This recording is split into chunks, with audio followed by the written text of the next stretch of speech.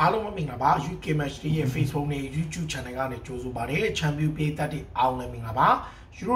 2024ပြိုင်ပွဲကြီးရဲ့အုပ်စုအဆင့်ပွဲစဉ်တွေအားလုံးပြီးသွားပြီးတဲ့အချိန်မှာကျွန်တော်ရှုံးထွက်အဆင့်ကိုတက်လာပြီ။ရှုံးထွက်အဆင့်ကလည်းပြည်သက်တွေအားလုံးတည်ထားပြီးသား။တချမ်းကအရန်ကျက်တယ်တချမ်းကတော့တော်တော်လေးခြောက်ထားပြီးတော့ဒါအခုပြည်သက်တွေရဲ့ပွဲကြီးပွဲကောင်းတွေကိုကျွန်တော်တို့လာမယ့်29ရက်နေ့ကစပြီးတော့ဇက်တိုက်ကြည့်ရမယ်။ တနေ့ကိုနှစ်ပွဲကြည့်ရမယ်အဲ့ထဲမှာပွဲကောင်းတွေအများကြီးပါသလိုနယ်သာလန်နဲ့ဒါနယ်သာလန်ပွဲအပါဝင်တစ်ဖက်ကတော့ဒါကျွန်တော်တို့ဒီဘယ်လ်ဂျီယံနဲ့ပြင်သစ်ရဲ့ထိပ်တိုက်ပွဲဒါအသင်းကြီးတော်တော်များများရဲ့ပွဲကောင်းတွေအများကြီးပါတယ်ဆိုတော့အခုကျွန်တော်တို့ဘယ်လိုပြောမလဲယူရို2026 2024ရဲ့ဒါအခုအုပ်စုပွဲတွေပြီးရှုံးထွက်ထွက်သွားတဲ့အချိန်မှာပွဲစဉ်တွေအသင်းဆုံးကျသွားတဲ့အချိန်မှာ ဘိုးဆွဲနိုင်မဲ့အသင်းတွေကိုဒါနမေချိုဘူကီတွေတော့ဘလုံးပွဲသုံးသက်သူတွေကထပ်ပြီးထုတ်ခဲ့တယ်အထူးသဖြင့်ဘူကီတွေပေါ့ဗျာဒါယူရို2026မှာဘူကီတွေကဘိုးဆွဲဖို့ရေပန်းစားဆိုအသင်းကအုပ်စုတွင်းမှာရုံးကန်ရပြီးတော့တွင်းကိုနှစ်ကိုပဲရှိပြီးအုပ်စုပထမရတဲ့အင်္ဂလန်အသင်းကိုရွေးချယ်ကြတယ်ဆိုတော့အင်္ဂလန်အသင်းကသူ့အုပ်စုပေါ့လေဒါအင်္ဂလန်ဟာအုပ်စုစီတွင်းမှာပါဝင်ခဲ့ပြီးတော့ ဒန်မတ်ရဲ့စလိုဗေးနီးယားနဲ့တစ်ဖက်ကတော့ဆာဗီယာတို့နဲ့အတူကန်နေအဖွပွဲမှာဂျူပါလင်ကန်ရဲ့ဆာဗီယာဘက်ကိုတလုံးနဲ့တော့ခေါင်းတိုက်အနိုင်ကူအိုက်ကိုကအင်္ဂလန်ကိုရှုံးထွက်ကိုတက်ရောက်စီခဲ့တဲ့ပွဲလို့ပြောမှာနောက်ဒုတိယပွဲမှာဒန်မတ်ကိုတီးကြတယ်နောက်ဆုံးပွဲမှာဆလိုဗေးနီးယားကိုတီးကြတယ်ဆိုတော့တွင်းကိုနှစ်ကိုပဲရှိပြီးဒီအုပ်စုတစ်ခုလုံးမှာခုနှစ်ကိုပဲသွေးတဲ့ချိန်မှာအင်္ဂလန်ကအိုက်ပွဲတစ်ပွဲပဲနိုင်တယ်ဆိုတော့အဲ့အချိန်မှာအဲ့အင်္ဂလန်အသင်းကိုဒီယူရို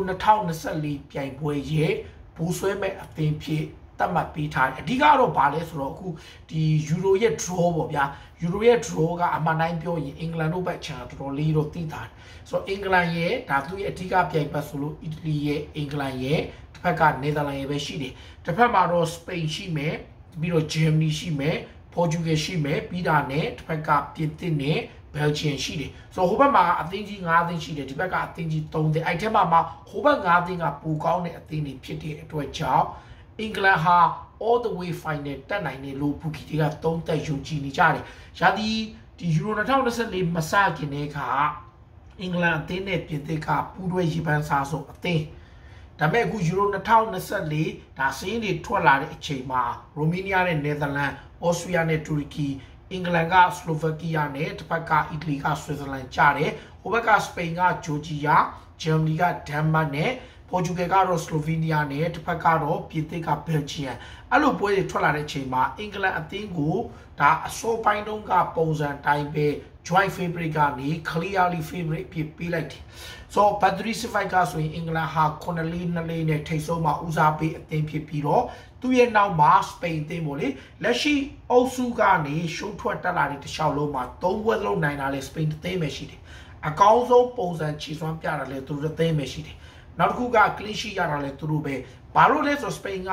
ခရိုအေးရှားရဲ့အီတလီရဲ့အယ်ဘေးနီးယားရဲ့သုံးသင်းမှာခရိုအေးရှားလိုအီတလီလိုအသင်းမျိုးကိုခြေစွမ်းအသာနဲ့ clean sheet ရယူပြီးတော့ကစားနိုင်ခဲ့တဲ့အတွက်နီကိုဝီလျံအပါဝင် စပိန်နီးပြရောရူဒီဂိုတို့ကကျွန်တော်တို့အသင်းကိုဘယ်အသင်းမှရည်ဆိုင်ချင်မှာမဟုတ်ဘူးအသင်းလိုက်ဆိုရင်သူတို့ကအကောင်းဆုံးလို့ပြောထားတာဒါပေမဲ့စပိန်ကအခုအင်္ဂလန်ရဲ့နောက်မှာဒုတိယရေပန်းအစားဆုံးဖြစ်ပြီးတော့ Asian Germany ကတတိယရေပန်းအစားဆုံးဒါပြိုင်ပွဲပစကင်တော့ကပူးတွဲရေပန်းအစားဆုံးဖြစ်တဲ့ပြင်သစ်ကစုထားတီကျသွားတယ်အဓိကတော့ပြင်သစ်ကအုပ်စုတွင်းမှာဒါဘယ်လိုပြောမလဲဆိုပြင်သစ်ကစားမကခီလီယန်အမ်ဘပ်ပေတကူတွင်းနဲ့တစ်ဖက်ကတော့ပြင်သစ်ကအခုနောက်ဆုံးပွဲစဉ်မှာဒါဘယ်လိုပြောမလဲပိုလန်နဲ့ပွဲကိုထပ်ပြီးတော့ဒါသူတို့ struggle ဖြစ်တယ် ဆိုတော့သူတို့အခြေအနေရ